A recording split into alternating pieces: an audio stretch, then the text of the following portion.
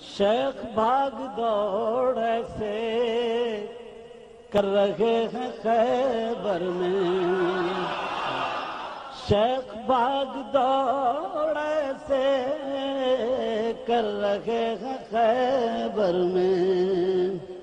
झंडा लेके जाते हैं, बाँस लेके आते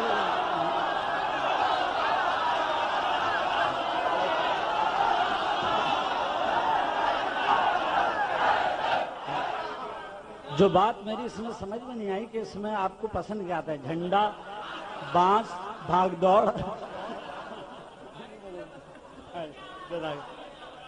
या शेख हो सकता है शेख पसंद शेख मरकजी किरदार शेख है।